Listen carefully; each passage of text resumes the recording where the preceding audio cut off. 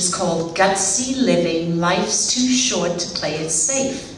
And when I first started talking about my book, it was about our gutsy adventure to Belize. And then I realized there's much more to it than just our adventure. What I think is important in life is to take risks. We all have passions, we all have dreams, but very often we postpone them. You know, different times of life, when we're young, we don't have money, when we're older, we have kids, and then we retire, and then we have health issues. So, what I think is important is to not postpone your dreams. And that is the message that my book uh, gives to people. And I like to motivate people to do that. So, if I can leave you with one message, it's stay gutsy. Thank you.